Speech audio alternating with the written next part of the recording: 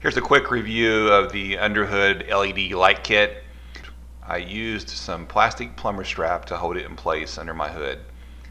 I replaced the supplied hood pin switch with a simple toggle on and off switch as well. It is plenty bright and will light up your engine bay just fine. I've used it a few times now and glad I had it.